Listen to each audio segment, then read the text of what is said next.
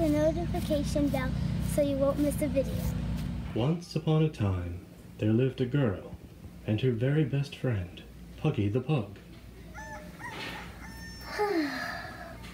It's morning time, Puggy. Wake up. Come on, Puggy. Let's go downstairs and get something to eat. Quick. Here he comes. What? Come on, Pugga. Gonna go downstairs. Oh, this breakfast. Let's go outside and run around. Times Rylee and her best friend Pug would exercise in the hot summer sun. He loved running with Rylee. All through the grass in the yard. She got him lots of exercise.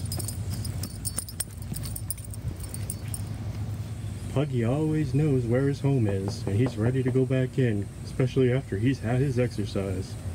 Nice One of Puggy's favorite things to do is to go on long, nice drives with his owner and best friend Rylee. Sometimes he gets a little nervous though in the car, especially with that crazy driver. But right now, he's being a good boy. Oh,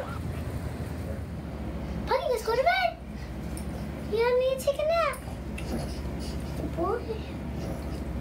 and after all that excitement, Rylee and her pug, Puggy, need a little nap.